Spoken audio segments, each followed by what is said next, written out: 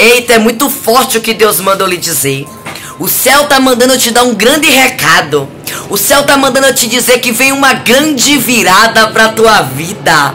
Antes de fim desse ano, tô toda arrepiada. Deus tá mandando eu lhe dizer que vem uma grande virada pra tua vida. Deus tá mandando dizer que aquele, aquela pessoa que você tem colocado no joelho, aquele homem, aquela mulher, aquela pessoa que você tem orado por libertação, Deus está indo lá visitar por causa da tua oração. Eita, meu Deus, é muito forte. A Bíblia diz que Pedro estava preso.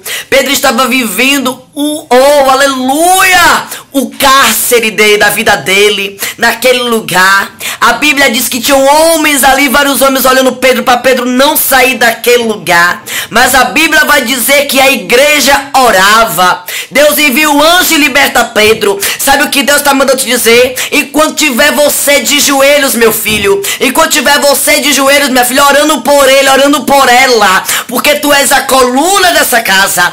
Eu estou fazendo sobrenatural na vida dele, na vida dela, por causa da tua oração. Tem resposta de oração, tem cura, tem libertação, tem salvação. Chegando pro teu lar, pra tua casa, pra tua vida.